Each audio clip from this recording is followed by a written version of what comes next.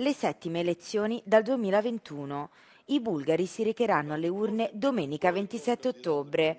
Tra il fallimento dei politici, che non sono riusciti a formare una coalizione stabile, e gli elettori, sempre più indifferenti all'esito del voto. Lo scorso giugno l'affluenza ha raggiunto il minimo storico del 34%.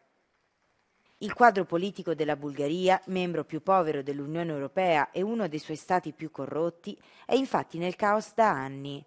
Nonostante il primo posto alle urne il 9 giugno scorso, il partito conservatore GERB dell'ex premier Boyko Borisov non è riuscito a portare a termine con successo i negoziati con il Movimento per i diritti e le libertà e con la destra populista di C'è un popolo come questo. Gli ultimi sondaggi suggeriscono che il voto di domenica non cambierà molto, con gli stessi tre partiti in testa. Gerb, dell'attuale coalizione, il cui leader è il primo ministro bulgaro più longevo dalla caduta dell'Unione Sovietica, dovrebbe ottenere il maggior numero di voti.